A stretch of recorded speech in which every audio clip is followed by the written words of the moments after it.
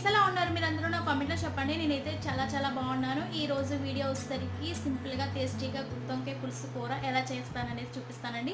చాలా సింపుల్గా చేసుకోవచ్చు. అలాగే టేస్ట్ కూడా సూపర్ ఉంటుంది. అలాగే ఏసీలోంచి సరిగ్గా గాలి రావడం లేదు. అది ఏసీ క్లీనింగ్ ఎలా చేసుకోవాలనేది షేర్ చేస్తానండి. నచ్చితే లైక్ చేయండి. అలాగే నా ఛానల్ని సబ్స్క్రైబ్ కూడా చేసుకోండి. మరి ఇంకేమాత్రం ఆలస్యం చేయకుండా వీడియోలోకి స్టార్ట్ చేసేద్దాం. ఇక్కడ నేను గుత్తొంకాయ కూర కోసం చిన్న వంకాయల్ని తీసుకున్నాను.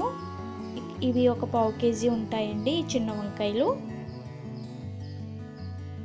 ఈ వంకాయల్ని ఒకసారి శుభ్రంగా కడిగేసుకొని నీటిలో వేసుకోండి.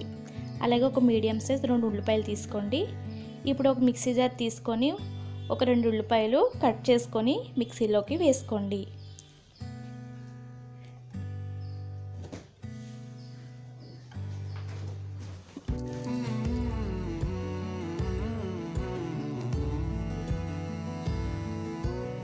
అలాగే చిన్న అల్లం ముక్క కూడా వేసుకోవాలి.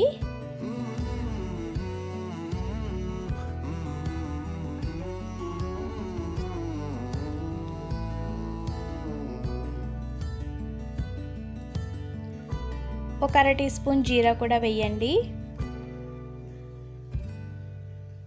అలాగే ఒక పది దాకా వెల్లుల్లి రెబ్బల్ని కూడా వేసుకోండి. ఒక అర టీ స్పూన్ గసగసాలు కూడా వేసుకోండి. అలాగే ఒక రెండు మూడు లవంగాలు కూడా వేసుకోండి. ఇలా వేసిన తర్వాత కొంచెం నీళ్ళు పోసుకొని పేస్ట్ కింద రెడీ చేసుకోవాలి.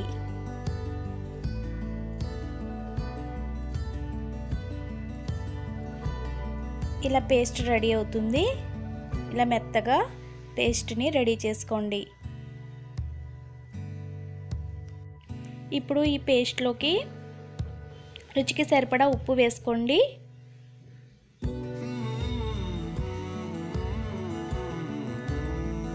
అలాగే రుచికి సరిపడా కారం కూడా వేసుకోవాలి. కారం ఎక్కువ తింటే ఎక్కువ వేసుకోవచ్చు తక్కువ తింటే తక్కువ వేసుకోవచ్చు. ఇక్కడ నేను పావు కేజీ వంకాయలకి సరిపడా కారాన్ని వేస్తున్నాను. అలాగే చిటికెడు పసుపుని కూడా వేసుకోండి. ఒక స్పూన్ చికెన్ మసాలా కూడా వేయండి. చికెన్ మసాలా వేస్తే చాలా బాగుంటుంది కర్రీ. ఇవన్నిటిని బాగా కలపండి. ఈ మసాలా మొత్తం బాగా కలపండి.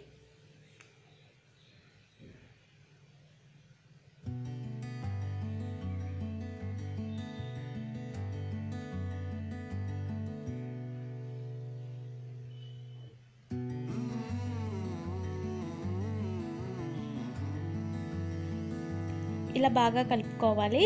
ఇలా కలిపిన తర్వాత పక్కన పెట్టేసుకోండి. ఈ పేస్ట్ని పక్కన పెట్టుకోండి. ఇప్పుడు వంకాయలు తీసుకోవాలి. వంకాయలో నీళ్ళు వేసుకోండి. వంకాయ దాంట్లో కొంచెం ఉప్పు వేసుకోండి. ఒక అర టీ స్పూన్ ఉప్పు వేస్తే సరిపోతుంది. ఉప్పు వేసాక బాగా కలపండి. కలిపాక వంకాయల్ని కట్ చేసుకోవాలి. నేను చూపించిన విధంగా నాలుగు పలకల కింద కట్ చేసుకోవాలి.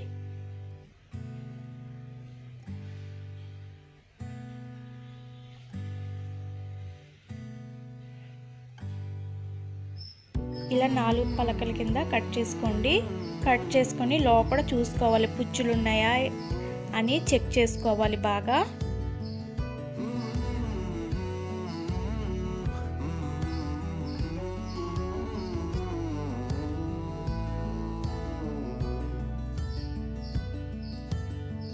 వంకాయలు ఇలా నాలుగు పలకలు కట్ చేసుకొని లోపల చెక్ చేయండి. ఏమైనా పుచ్చులు ఉంటే తీసేయండి.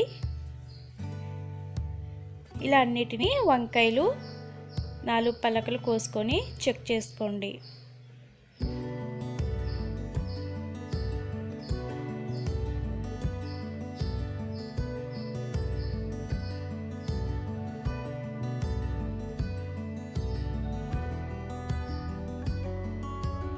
ఇలా అన్నిటినీ కట్ చేసుకున్న తర్వాత ఒక ప్లేట్ తీసుకోండి. ఇప్పుడు రెడీ చేసాం కదా ఈ మసాలాని వంకాయలోకి పెట్టుకోవాలి. నాలుగు పలకల కింద కట్ చేసాం కదా లోపల పెట్టండి ఈ మసాలాని. ఇలా నాలుగు పలకల నాలుగు పలకల్లో మసాలాని పెట్టుకోవాలి.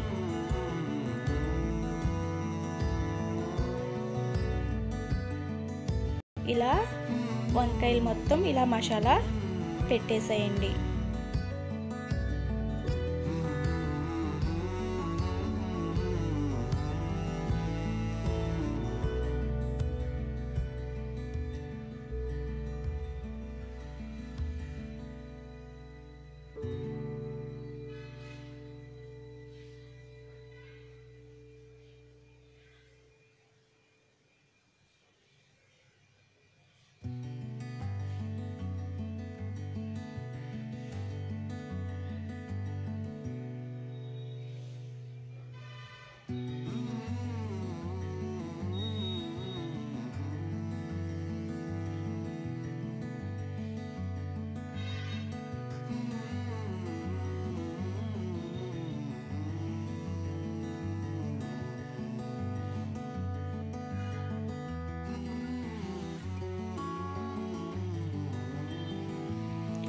ఇలా వంకాయల్ని రెడీ చేసుకోవాలి.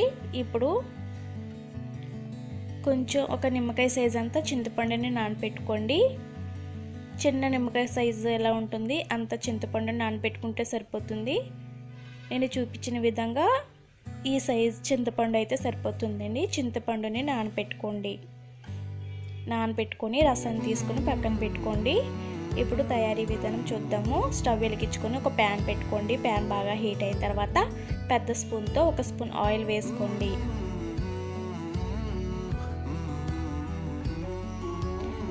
గుత్తొంకాయ కర్రీలోకి కొంచెం ఆయిల్ ఎక్కువే పడుతుంది. ఇప్పుడు మసాలా పెట్టాం కదా వంకాయలు. వంకాయల్లో ఆయిల్లో వేసేయండి.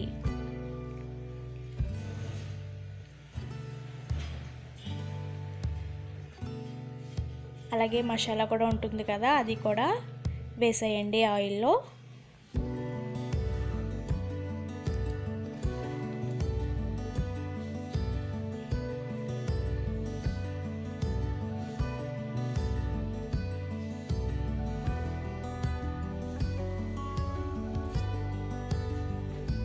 ఏమైనా మసాలా ఏమైనా మిగిలితే ఆయిల్లో వేసేయచ్చు.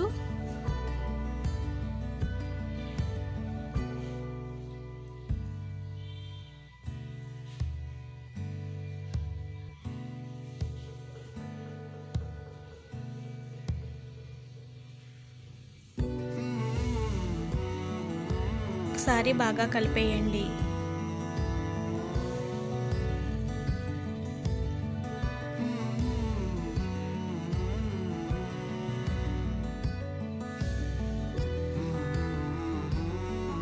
మూత పెట్టి వంకాయలు బాగా మగ్గించాలి.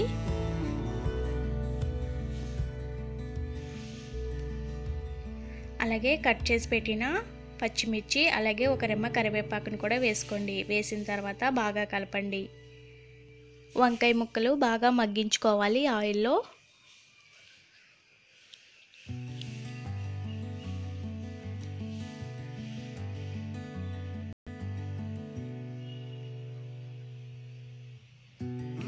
మధ్య మధ్యలో కలుపుతూ ఉండండి లేకపోతే మాడిపోతుంది. స్టవ్ సిమ్లో పెట్టండి.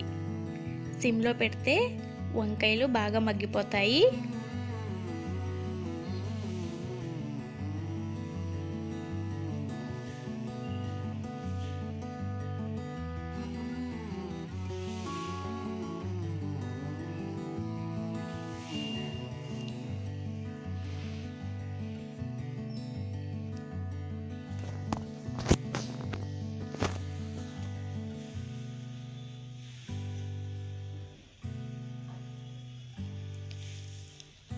మూత తీసి చూద్దాము.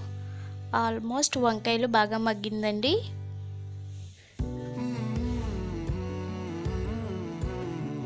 వంకాయ ఇలాగా నొక్కి చూస్తే ఇలా మెత్తగా రావాలి. అప్పుడే వంకాయ బాగా మగ్గినట్లు నేను చూపించిన విధంగా ఇలా మెత్తగా అయిపోవాలి వంకాయ. ఇప్పుడు చింతపండు రసాన్ని వేసుకోండి. వంకాయ ములిగేంత వరకు చింతపండు రసాన్ని వేసుకోండి.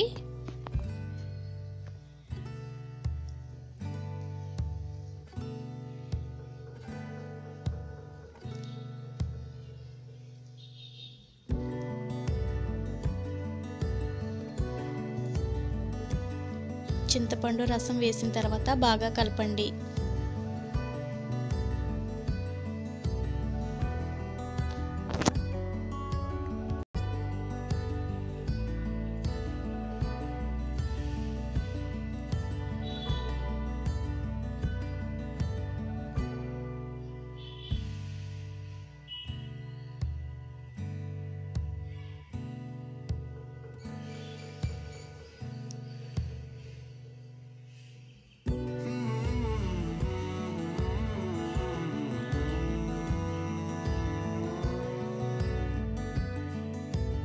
మూత పెట్టేసి ఆయిల్ అంతా పైకి తేలేంత వరకు కర్రీని రెడీ చేసుకోవాలి. మధ్య మధ్యలో కలుపుకుంటూ ఉండండి.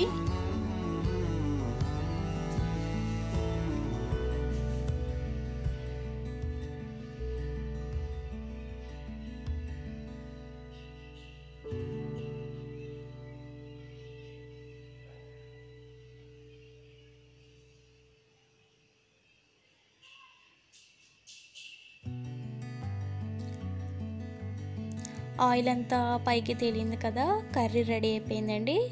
ఇలా ఆయిల్ అంతా పైకి తేలాలి. అప్పుడే కర్రీ చాలా టేస్టీగా ఉంటుంది.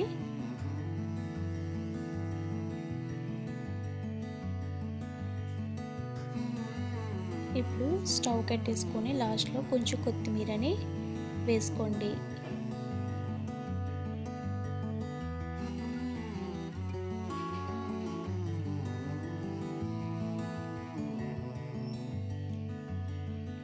అంతే ఎంతో రుచిగా ఉండే గుత్తొంకాయ పులుసు కూర తయారీ విధానం చూసారు కదా ఫ్రెండ్స్? చాలా సింపుల్గా చేసుకోవచ్చండి. అలాగే టేస్ట్ కూడా సూపర్ ఉంటుంది. డెఫినెట్గా ట్రై చేయండి.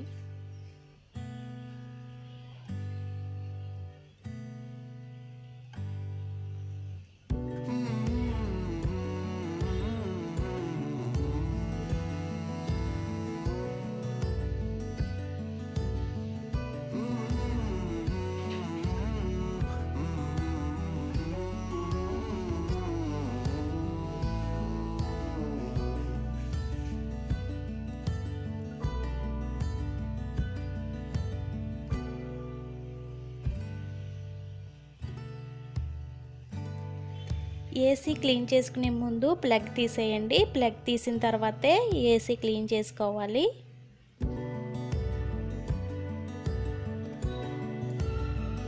ముందు ఏసీ మొత్తం క్లాత్తో ఒకసారి బాగా తుడిచేయండి. మేము వారానికి ఒకసారి బాగా తుడిచేసుకుంటాం. అంత ఏమీ ఉండదు.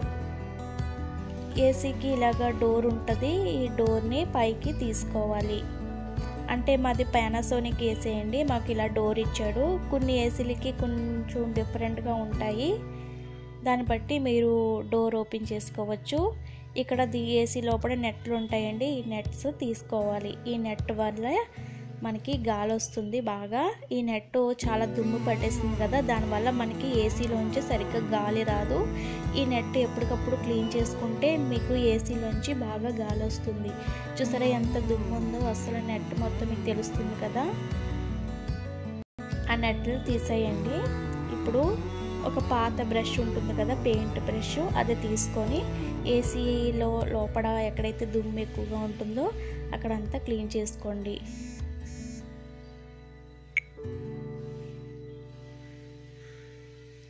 ఇక్కడ ఏసీ లోపల చాలా దుమ్ము ఉందండి. నాకు కొంచెం డస్ట్ ఎలర్జీ ఉంది. అందుకని నేను కొంచెం ముక్కుకి అలా కట్టేసుకున్నాను. బ్రష్తో బాగా లోపల కూడా క్లీన్ చేసేసుకోండి. బాగా దుమ్ము పట్టేసి ఉంటుంది. అక్కడే బాగా క్లీన్ చేసుకోవాలి.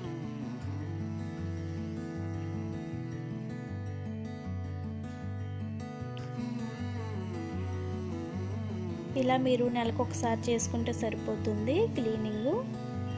ఇలా క్లీనింగ్ చేసుకోవడం వల్ల మనకి ఏసీలోంచి గాలి బాగా వస్తుందండి.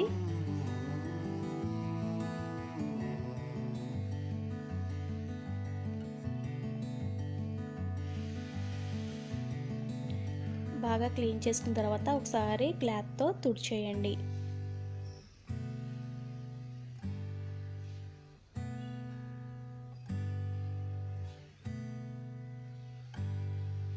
ఏసీ లోపల బ్రష్తో ఇలాగా నీట్గా క్లీన్ చేసేసుకోండి.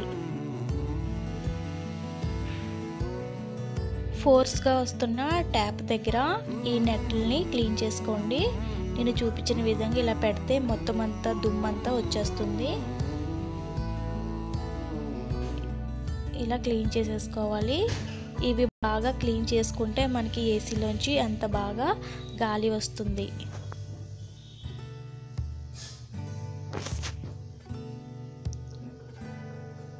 ఇలా ట్యాప్ కింద పెట్టేస్తే మొత్తం అంతా దుమ్మంతా వచ్చేస్తుంది.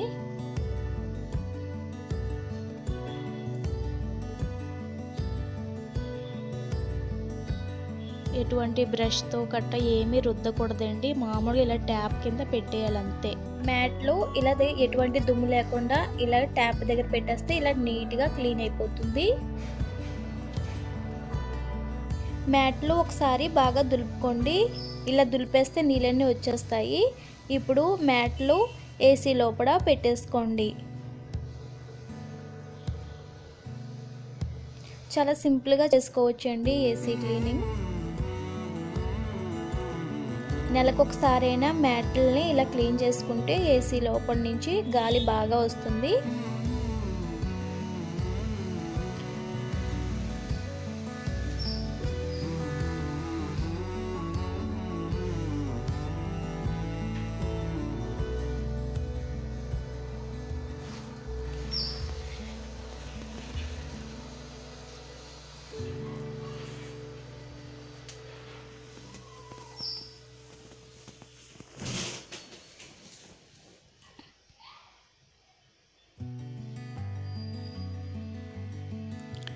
అంతే ఇలా పెట్టేసుకోవడమే.